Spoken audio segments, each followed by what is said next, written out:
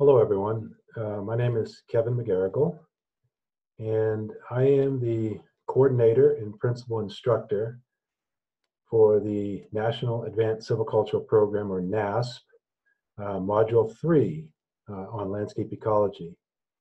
And I'm preparing this video as pre-training in the use of the software program R and its graphical user interface, RStudio, so that students in the NASP program can come to the NASP course in January, held in Flagstaff every year for that year's uh, NASP cohort, can come prepared to use R in support of several of the lab projects.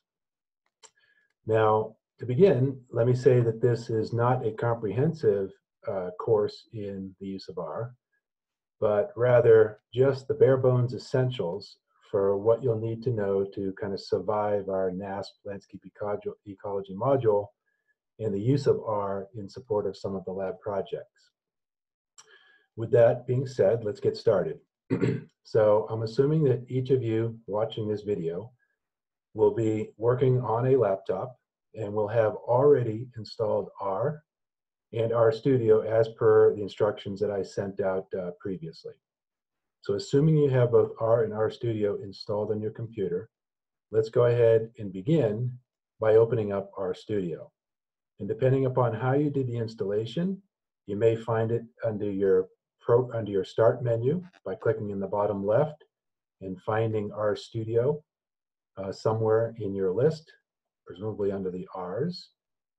And there's a drop down uh, menu on the left here, and then clicking on the RStudio button. You may have also installed a desktop uh, button uh, to open RStudio, which I do not have one on my desktop. I have R, but not RStudio, and we'll talk about the difference in just a sec. But I do have an RStudio uh, button on the bottom here. So depending on how you installed RStudio, go ahead and uh, open the program. And assuming that uh, everything installed correctly, you should uh, have a window that looks something like this. Now yours may look a little different, and I'll describe why that might be the case in just a minute. but first, let's give a little bit of background on R and RStudio for those that are new to this software environment.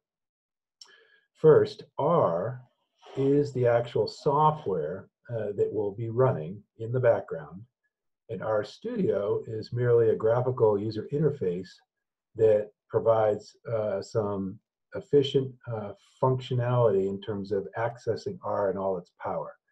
So we will be using R in the background, but we will be accessing it through this user interface that is, is, is studio. Now R is an open source freeware program, and that means that it's free, of course, and it's open source, meaning anyone has access to the source code and can offer to make changes to that source code to benefit all the other uh, worldwide users, assuming it meets certain minimum standards. The power of R is that you have literally many thousands of users, many of them very skilled developers, who are developing um, packages that we'll talk about later and functions within those packages to do all sorts of interesting uh, computer processing tasks uh, and those become readily available to any other R user. So instead of having proprietary software, which is dependent upon you know the proprietors to determine what goes in the software, essentially the users decide what goes in this software. And because you have many thousands of users developing new uh, programs that do new and interesting and state-of-the-art things, R is an amazing platform for having access to all the latest and greatest uh, computer processing um, uh, programs that, that one might be interested in. Now, I'll also mention that R is probably the leading uh, program of its type in the natural sciences. And in contrast to other programs such as MATLAB, which have similar um, processing capabilities and functionality, that are quite expensive to purchase and require you know a lot of advanced training in its use are and and and programs like RStudio are relatively quick to learn And then once you master this, again, you have access to an, an almost infinite number of, of packages and programs that do all sorts of things that uh, you might be interested in uh, within the field of natural sciences. so that's a real brief background on R. RStudio was developed uh, by some individuals that wanted to make uh, accessibility and usability of R uh, greater uh, to allow uh, people who are maybe less computer program oriented um, have access to the power of R. And so as you'll see, um, this interface allows us to, to do a lot of things very efficiently and in a nice graphical environment to display results and so forth that in R is, is much more cumbersome. So RStudio, which we're seeing on the screen now, is again a graphical user interface and it has a number of components uh, that I'll try to briefly explain uh, without going into detail on, on really any of them. But the first thing you should notice when you open up RStudio is that there are these various partitions to the screen. And I think the default is that you'll have these three partitions, one on the left and two on the right. It's possible that yours, when you first install and open it for the first time, will have a different number and arrangement of these partitions, but those can all be changed. For example, you can take any one of these windows and put your cursor on the line separating the window, and you can stretch, you know, or compress each window to meet your, your needs. We can also learn in just a minute on what we put in each side of these windows. Now, this window on the left, you'll notice up on the top left here is called the console. And you'll notice down here with the blinking cursor and this uh, greater than sign, that is the symbol for the cursor. And that is where you would typically type in a line of code and then hit enter to execute that line of code. And then the results will be returned back to the console. For example, if we put our cursor here and we click here to make sure that's where we actually are. And let's say we just type 2 plus 2 and then hit enter. You notice that we get the result. And the result is 4. And this number in the square brackets on the left just means it's the first item in this object that was returned. And, it, and because it completed this command successfully, we get back to the cursor. And so we're ready to do another line uh, depending upon what we might want to do.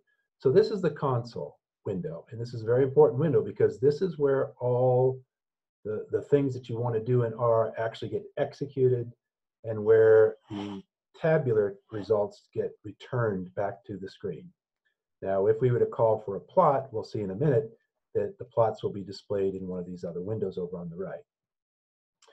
Now, in most cases, when we're working in R, rather than typing in the console the lines of code that we want to execute and having the results returned back to that console, we typically work in a, window known as the source window. And by default, the source window is not open here. We have to create one. And so we're going to do that by, on the left here, either going to File and say um, New File, and then come over and say R script. That's one way to do it. Or we can just take the shortcut here and just take this uh, button here that has the, the white um, sheet with the plus sign and click on that. And it'll give you a drop down menu. And there's various types of files we might open in the source window. And we're not really going to talk about any of these except for the first one the R script. So click on R script and what you should notice is we opened up a fourth window. So the window on the left, which was previously just the console, has now been divided into the source window on the top and the console window on the bottom. And the two windows over here on the right have not changed. Now, this source window is where we would typically type in code. So for example, if we type in 2 plus 2 up here, okay, this is where we write our code or what we refer to as script. These are the lines of our code or script that we would that we eventually want to execute by sending to the console and having the results returned either to the console or to a plot window or some other device that we might tell it to in, in our script. So up here we put in two by two plus two. If I hit enter, notice I didn't I didn't send it to the console, so we didn't get the result four. All we got was a new line. In this case, it's a blank line because we haven't actually run anything. All we are doing up here is writing code, writing script. To execute that script, we actually have to have the cursor on the line we want to run. And then there's multiple ways to do it, but the easiest way is to use this run button, which you see where my cursor is at this point. And if I hit that, and you notice if you hold the cursor over it, it'll tell you what it's going to do. It says run the current line or selection. In this case, I only have a single line of code, so it's going to run the one line. Now, if we hit run, you'll notice that it sent that line down to the cursor, I mean the console, as if we had typed it in the console. And then, of course, accordingly, it returned the result of 4, and we got a new cursor back, the greater than symbol. So what we did up here was equivalent to typing in the console. The difference being, when we type things into the console, we're not really saving that script. That's like a one-time deal. If you want to just run a single line once and be done with it, you can just type it right into the console. But typically when we're working in R, we want to have a record of everything we do for lots of reasons. Uh, but most importantly, because oftentimes we want to repeat that code and do it many different times, and we want to evaluate the results, and then maybe make changes. And so we store that code in a script. So up here, this 2 plus 2 is now stored up here in this script. We haven't saved it yet, but we can easily save this. And the next time we come back into RStudio, we can open up this script and have all of the code that we have previously run ready to run again or ready to edit and, and run uh, for a different type of run. So if you are programming in R, this is where you would program. You would open up a script window and you'd type in R code to do the things you wanted to do, and then you'd save it. Now, in this course, we are not going to be writing any R code. All of that R code that we're going to be using, I have written for you in advance because clearly this is not a course in R, and it's not that relevant for us in this course to learn how to program in R. What we want to do is be a competent user of R. So instead of typing in the script window, the lines, I'm going to just uh, delete the line that we had typed in there. And instead, we're going to open up a script that I have already saved in advance for you. So for this, again, there's different ways to do it. We can go to File and Open, or we can just use the toolbar button here with the little open folder. And if I click on that, it's going to open up a navigation window and you should navigate to the directory on your laptop where you have saved the script file that I sent in my email. So for me, I am navigating down to a folder that contains this script. And you'll see in my case, it's, in, it's on the C drive in the work directory, the LandEco subdirectory, exercises subdirectory, lab one subdirectory, and then finally the scripts subdirectory. So it's nested down in one, two, three, four, five levels down. And for this course, we're going to have a similar structure like this, where we put all of our data, and each of our lab exercises will have its own folder, and there'll be scripts um, for each of the labs that we'll be running. For today, in our in our in our uh, our little demonstration today, we don't have to worry about all that. Right now, what's important is wherever you downloaded the script that I attached to my email announcing this video, navigate to that folder. And in that folder, you should find this file called createlanddefs.r. And if you select that by just clicking, excuse me, not that one, sorry, I meant, I meant lab1.r the lab1.r folder. Now you may have some other files in that folder or not. So don't, don't be too worried that you see create landdefs.r in mine and you don't have that because I did not send that file to you. But you should have the lab lab1.r. Go ahead and hit open. Now what you should see is all of a sudden in the source window we got all kinds of code or script. And you'll see if you go to the top and then scroll to the bottom, you see we have a total of 53 lines of code, a lot of them blank, and many of them commented out. But these are the lines of code that we're going to run in lab one of our NASP landscape ecology course. Now, this script window contains the script and the individual lines that will run, and you'll notice that many of them are this light green color because they begin with this hashtag, and that's a comment line. So if I have my cursor on that line that has a comment on it and I try to say run, nothing's, oops, sorry, it skips, it skips over those comment lines and runs the next active line, which in this script you'll see is uh, this line beginning with the word source. We don't need to run that yet because we have to talk about a few other things before we actually start working with this script. For now, what's important is to understand that we have a source window, which contains the script, the lines of code that we're going to run. We have a console window, which is where those lines will get sent and executed, and then the results will get returned either back to the console or to a plot window. Okay, and then over on the right, we have two other windows. Let's take a minute to talk about these other two windows. Now, your initial installation of RStudio may have windows that look a little different than this because you'll notice in these windows there's some tabs. In my case, I have a tab called Environment, History, and Connections in my upper window. And in my bottom window, I actually have five tabs, Files, Plots, Packages, Help, and Viewer. Now, don't worry about the fact that you may have different tabs in these different windows. We can change which things show up in each of these windows very easily uh, by going to the tools on the top menu here, tools. And if we go down to the bottom here to global options, and we click on that, it opens up a window that allows you to set all kinds of defaults for how RStudio works and what you see when you open up RStudio. And if you go down to the pane layout button here on the left, you'll see that it shows you you have four potential windows. The top left is the source window. And that is typically what you're going to want to have in the top left. Although some people uh, put the console on the top left and the source in the bottom left. It's a personal preference thing.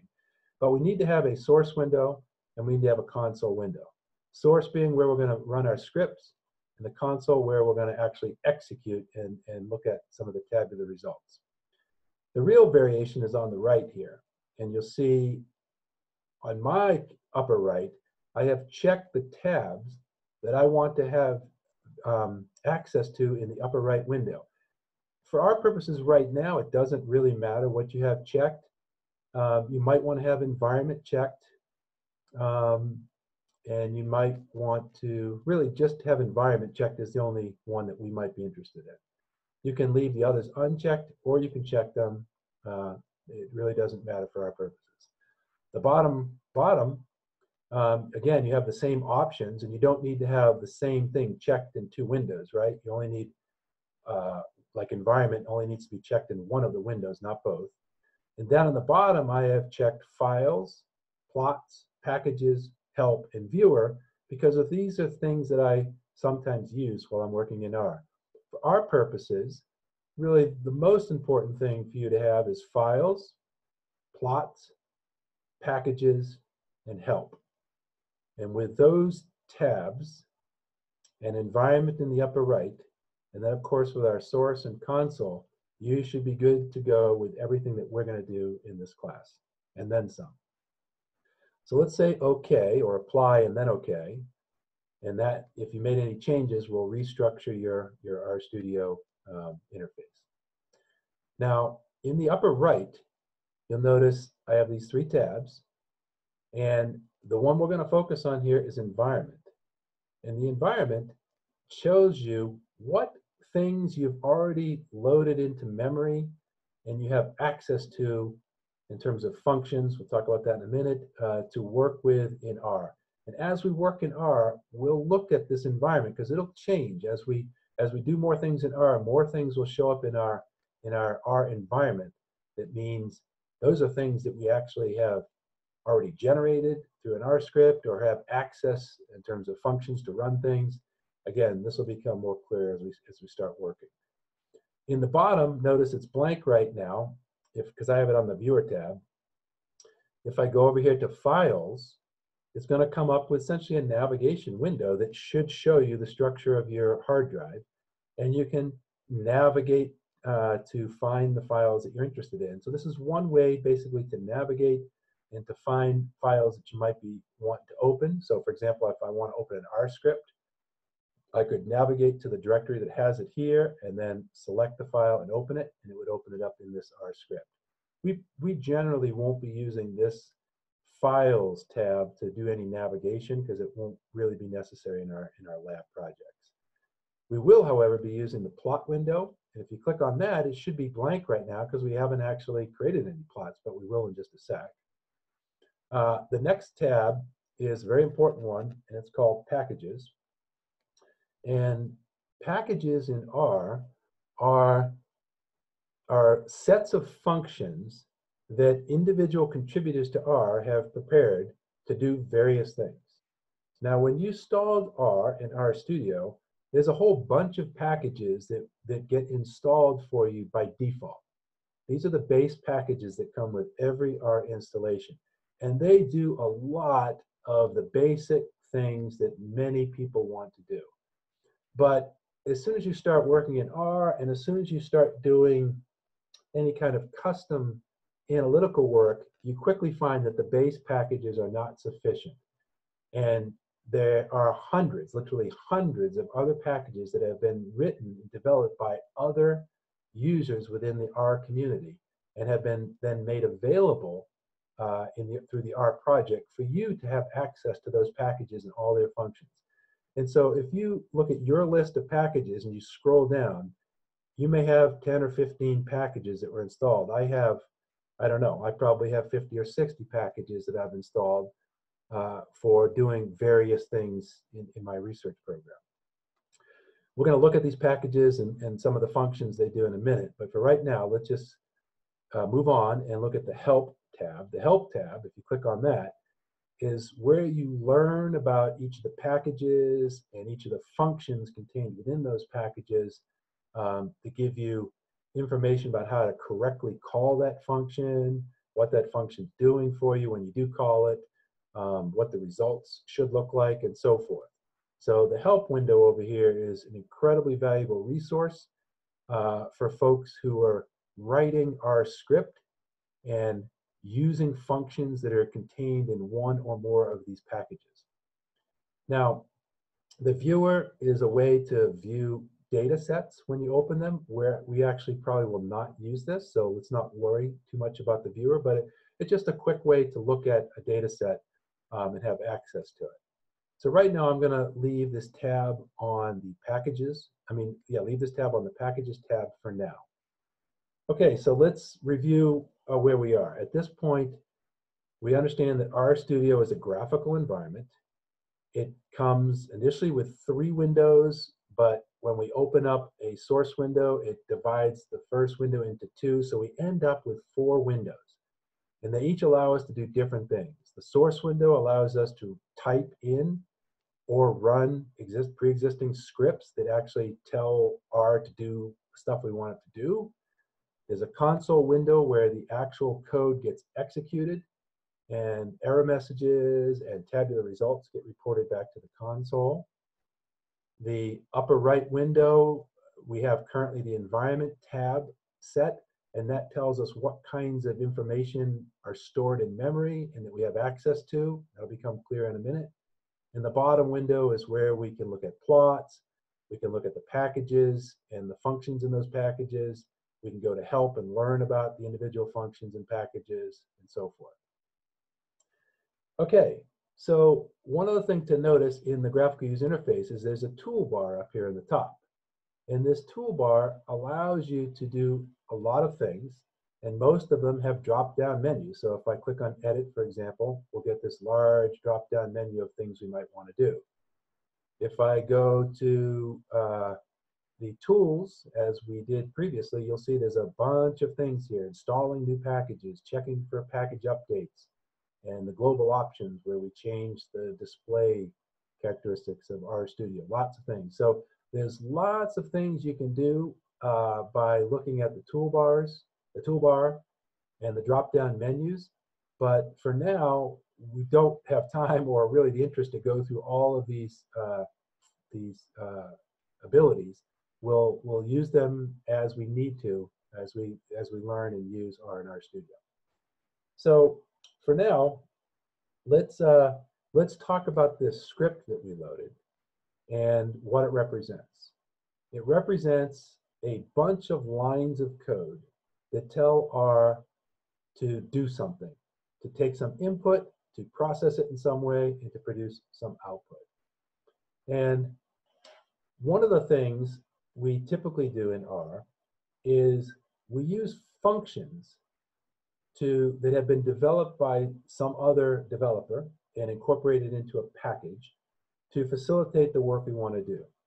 Now, a package is, is nothing more than a collection of functions. And usually there's a theme to that package. That package is all about doing regression modeling. That package is all about working with rasters or grids uh, and so forth and so on.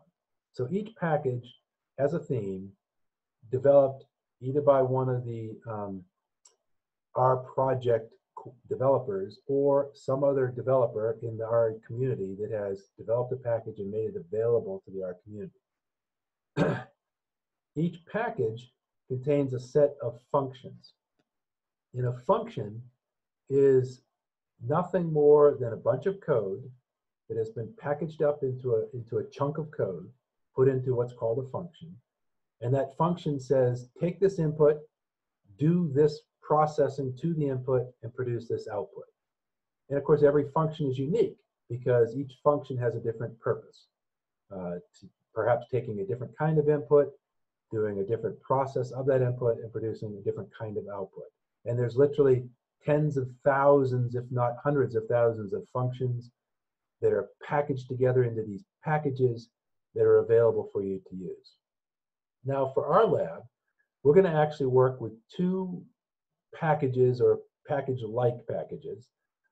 One of them is a set of functions that I wrote specifically for our work in this course and some additional functions for work in my lab and other courses that I teach. And it's a package that is called LandEco. And this package, landeco.r, is something that you, you have downloaded from the email that I sent to you. And you presumably have put it in a folder, possibly in the same place as the lab1.r folder. And what we need to do is load that package into memory so that we can access the functions that are in that package.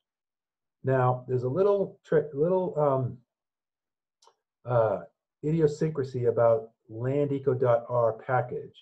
It's actually not a formal package in the R world that that users worldwide have access to simply because I developed this solely for use in my own course classes, in my own lab. It's really not intended to be used by other people outside my lab. So you can't really access it the same way you do other packages in R's because it's not available um, in the R community. So instead of uh, the way we would normally install and load a package, we're going to use a, a function in R called source. And you'll notice I've highlighted source over here on the left. And that is the way we basically run a bunch of code that has been packaged together. In this case, it's been packaged together into a script I call landeco.r. And we're going to run that code. And for you, for you folks, you'll have to edit this line right here, this directory, to wherever you installed the landeco.r file that was attached to your email. Now, you may want to pause this video Uh, if you need to go find this directory and figure out where this is, and then resume it once you've figured out your directory structure. But in most cases, it'll be something like C colon, and then notice instead of a single backslash, I have a double backslash. And then whatever your directory structure is, finishing with the file name landeco.r. And notice the whole thing is either in single quotes or double quotes. In R, you can use either single quotes or double quotes. You just need to pair them. So if you use a single quote to start, you need to use a single quote to finish.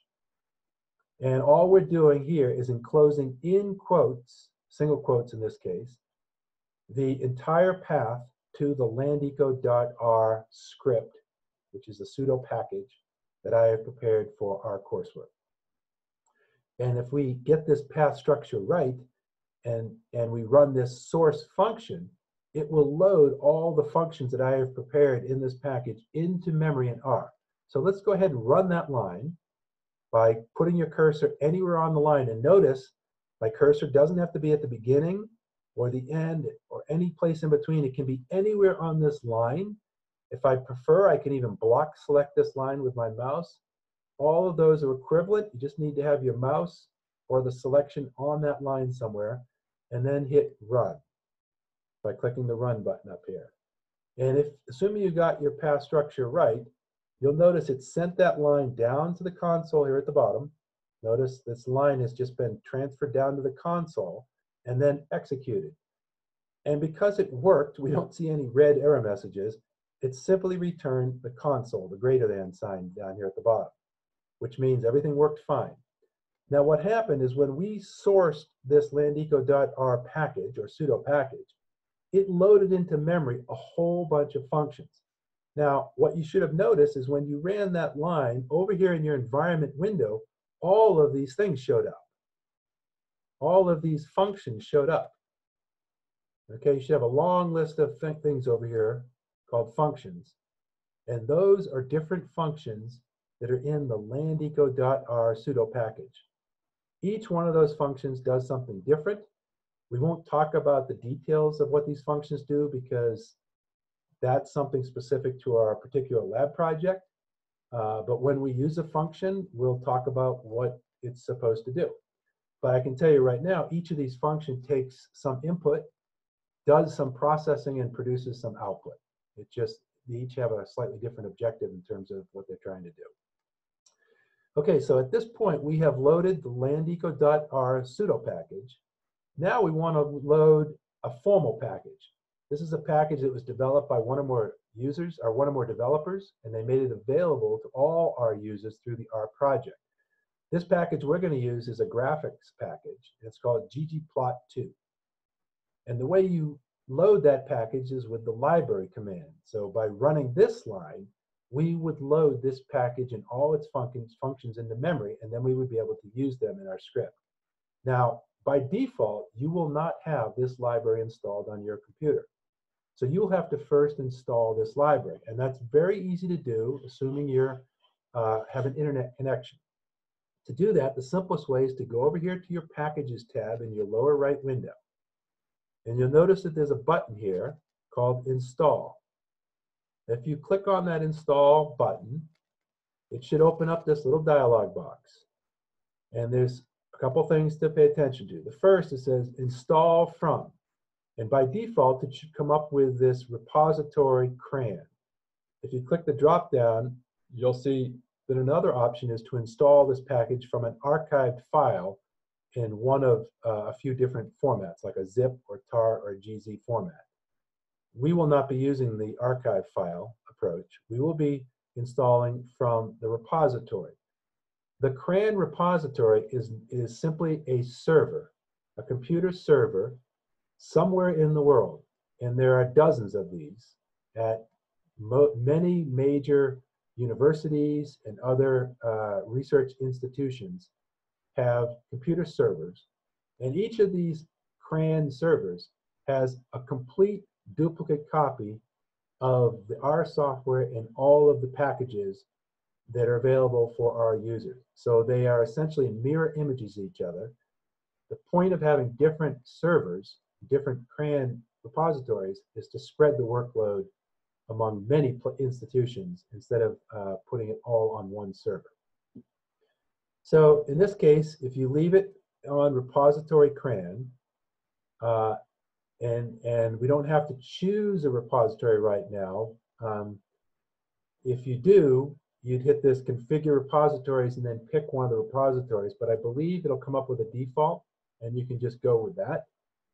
What we want to do next is down here in the packages uh, box, click your mouse in there, and we want to start typing in ggplot2. G, notice I type G and all the libraries that begin, or packages that begin with a G start coming up. GG, it starts limiting them. GGP, let's see. Each time we add a letter, it, it reduces the selection to just packages that, you know, are consistent with those that, that set of characters. So as we continue, whoops, as we continue, ggplot, you can see there's a bunch of different varieties of ggplot. We're interested in ggplot2, and so we would select ggplot2. So now this says install ggplot2 from one of the CRAN repositories, one of the servers somewhere in the world, and install it to a directory on your hard disk. And for now, it's probably safest for you just to leave the default directory there. Um, more advanced users might want to install packages in, in, in custom locations, but for your purposes, you can just install these packages in the default location. And very importantly, make sure this next box at the bottom is checked. That says install dependencies. It means when we install ggplot2, that package, if it itself depends upon other packages, it will install those packages for you. So that when you run ggplot2 functions, it will have all the necessary information it needs to run those functions. So go ahead and click the install button and it should process. I'll go ahead and do it, even though I already have it installed, but I don't think it can hurt me to install it again. It's downloading the file from the CRAN server, and you'll notice down here on the console, it, it gives you some information in red here, what it's doing, and then in the end, hopefully it says that it was successfully unpacked and the MD5 sums were checked, and, and that tells you where it was loaded to, and you get the cursor back. Now that means everything worked fine, and we now have access to ggplot2. So assuming that worked for you, and let's hope it did, if it didn't, we'll have to resolve that problem in person in Flagstaff. But let's assume it did work.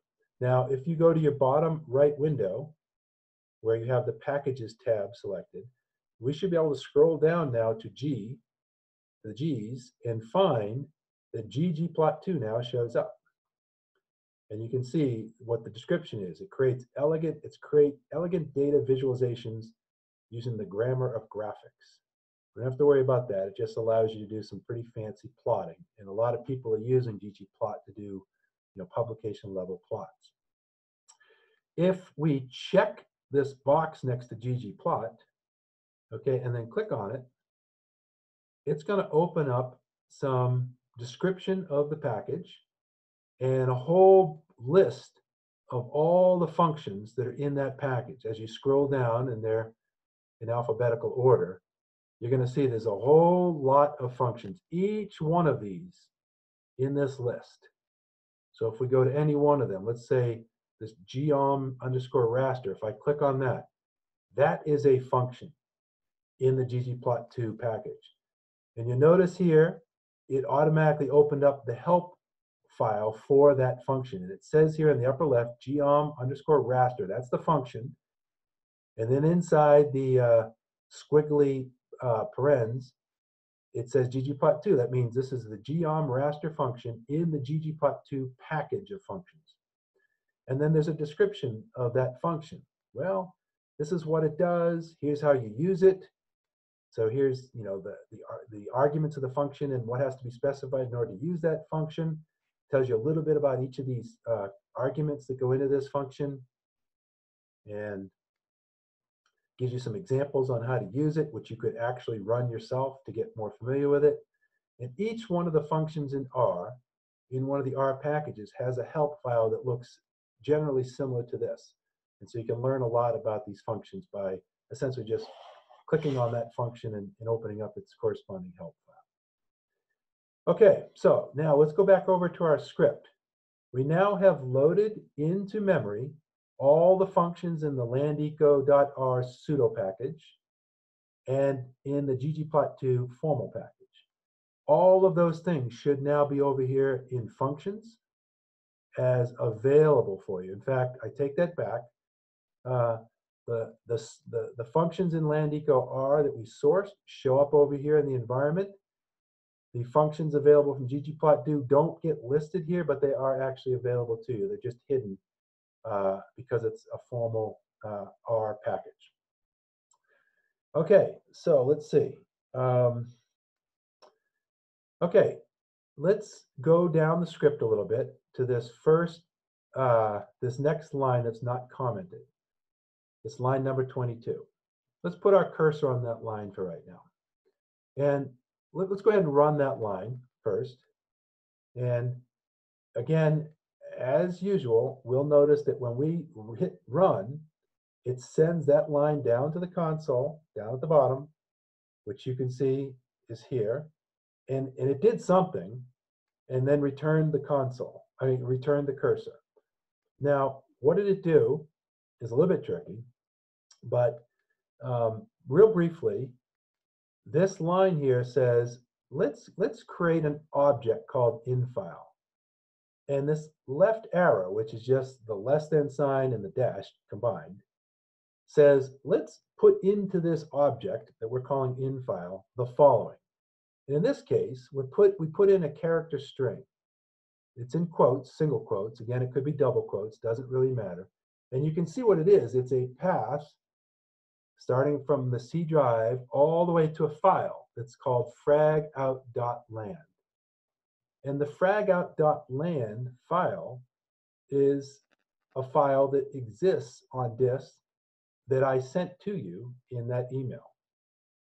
Now, one thing you'll have to do is change this path structure to be the same path that the path that takes you to this fragout.land. So presumably, it's going to be the same path where you put landeco.r and the same path where you put the lab1.r script. Presumably, you put them all in the same directory, and you simply need to repeat that directory here. And what that will do is say, let's, let's read this directory and this file, okay? Let's, and let's put that directory structure and file name into an object called infile.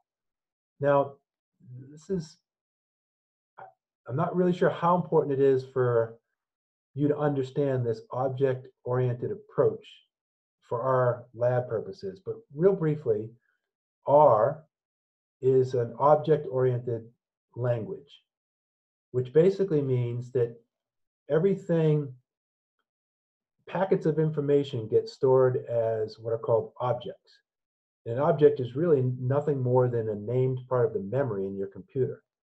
And by naming that memory, that object, you can then call that object, use that object in operations.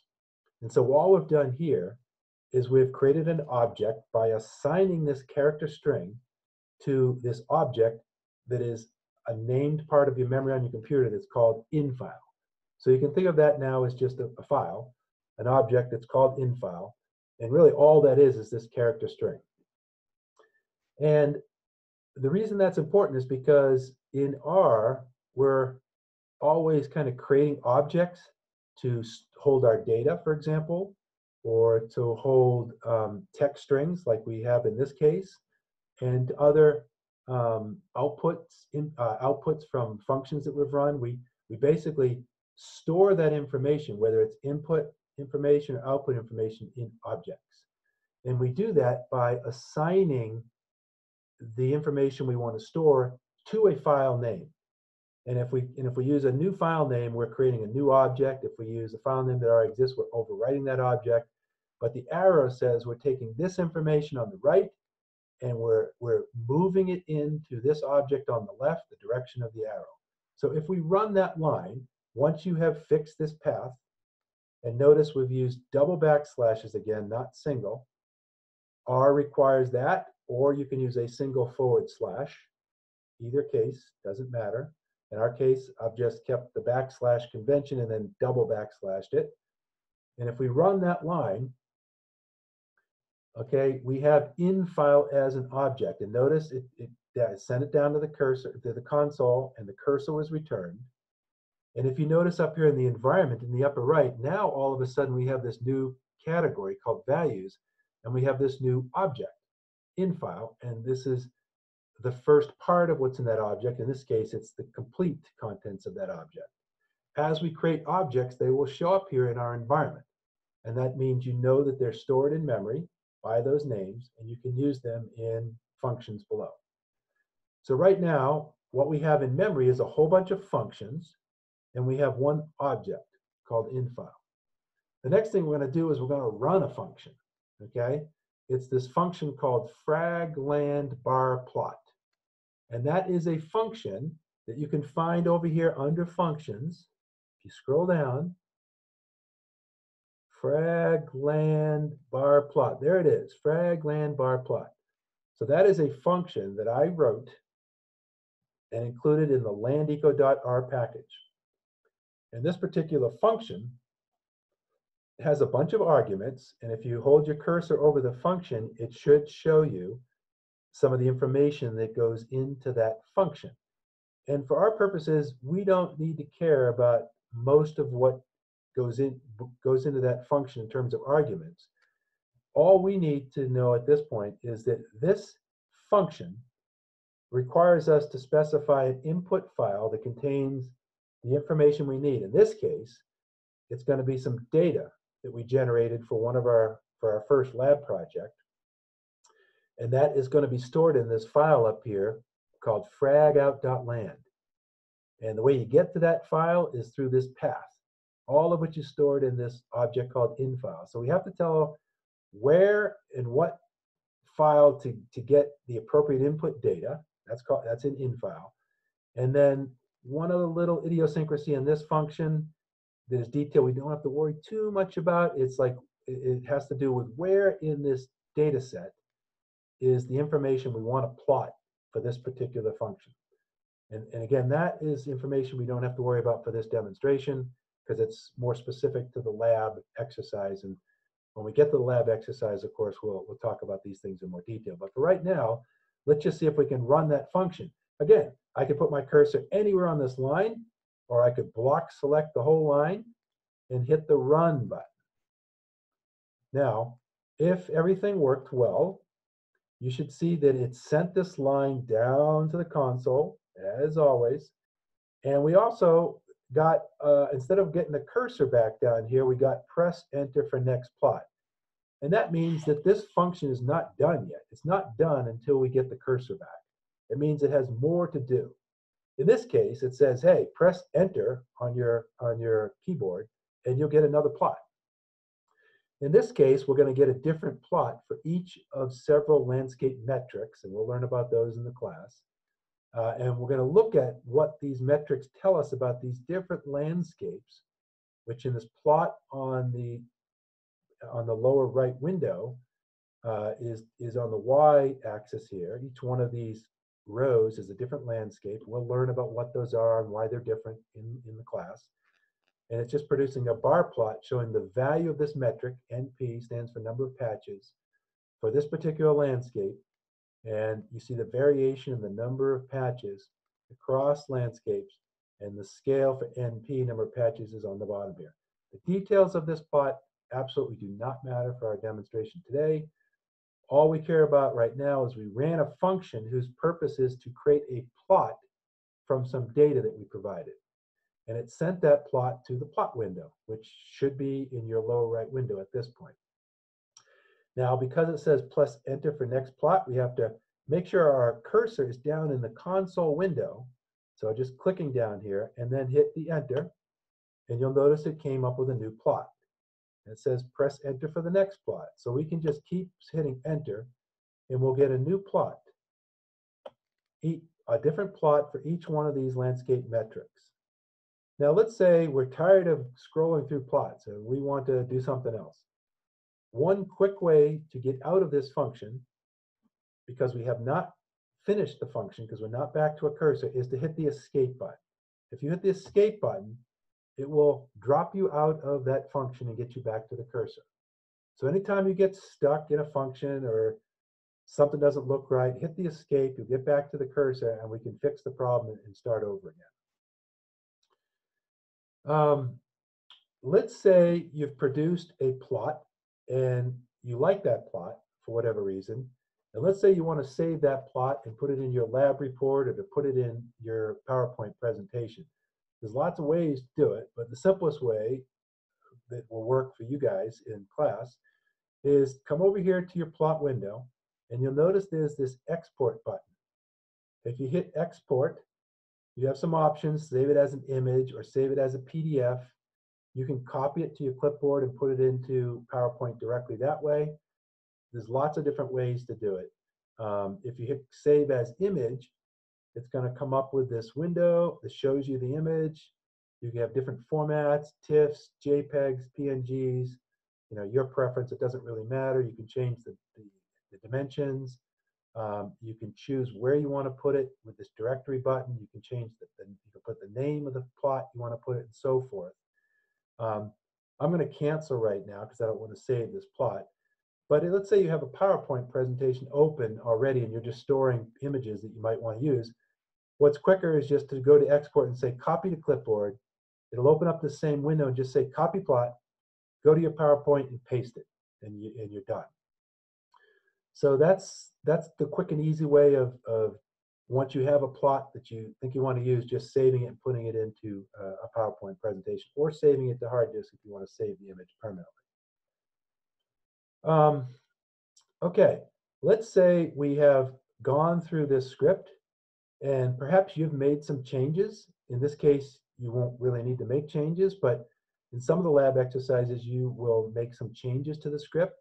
In your case, in fact, you have made some changes. You've changed this path probably, unless you created the same path on your hard disk as, as my path, but you would have changed that line and you would have also changed it here as well. You would have changed those two lines. So you have made some changes to this script. Now, let's say you want to save this script so the next time you open it up, all of your edits and so forth have been saved. That's very easy to do.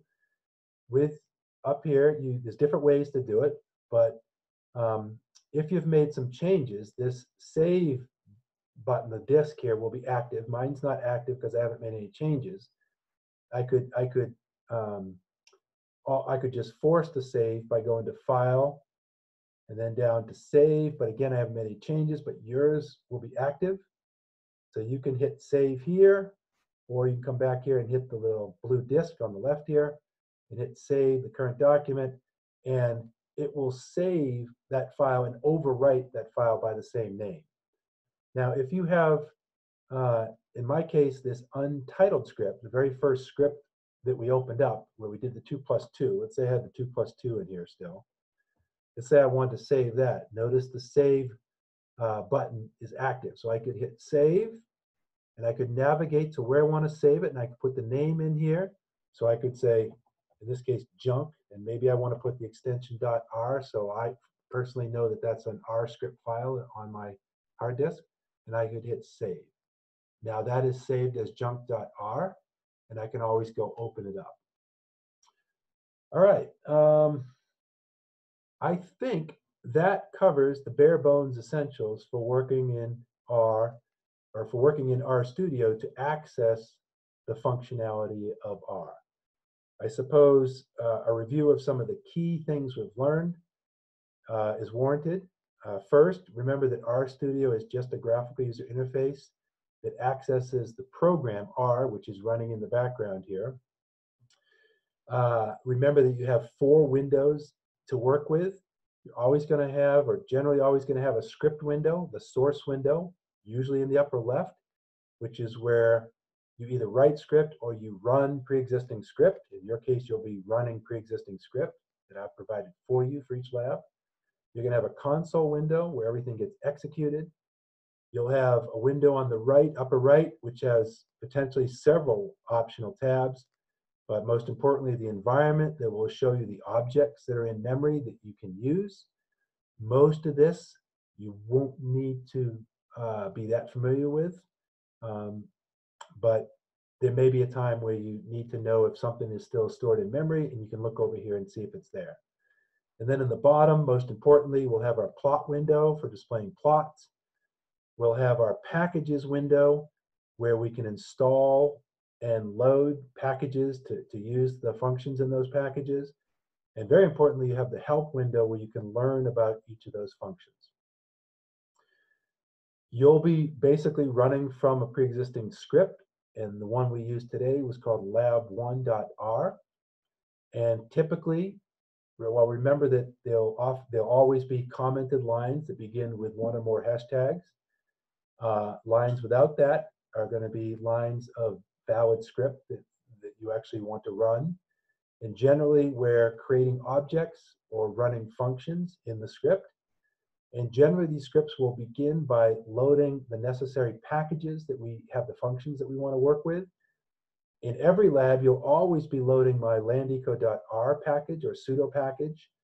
And it gets loaded a little differently using, it gets loaded using the source function instead of the library function, because that's literally just loading, sending, uh, loading, loading all of the script that's contained in this landeco.r file, whereas the library command is actually formally loading an R package that has been previously installed. If you have a library here that you're trying to load that has not been installed, you get an error message, and you'll simply need to come over here to the packages window, go to the install button, and with the repository CRAN selected in the top, type in the package name, make sure the install dependencies is checked, which it should be by default, hit install. It will crank away for a while, and once it's installed, you can then run the library function to load all of those functions into memory.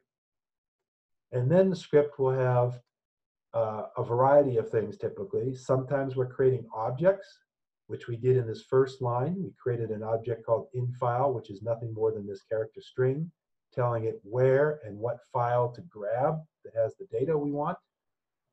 And then there'll be one or more function calls. In this case, what we ran was a function called fragland bar plot, and we supplied two arguments to that function, infile, which tells us where and what file we want to use that has the data, and then another argument that is not important to us that tells us where specific variables in that file were that we want to plot. And then when we ran that function, it sent plots over here to the plot window. We can save those by using the export button over here and copying them to clipboard and then pasting them into our PowerPoint or into our Word document. Or we can save them to file as an image or as a PDF. And once we're done creating plots with this function, if we are done, we'll get the cursor. So if I go through all of the plots, we'll finish with the cursor, or I can escape uh, and get out of that function uh, prematurely. If you see information uh, in the console in red, which I didn't talk about previously, sometimes it is warning messages, and you have to kind of be experienced to know whether you can ignore them or not. In this case, we can't ignore them. But when you have error messages, they will show up here as red, and that will tell you and me that something went wrong, and then of course we'll fix it and, make things all work.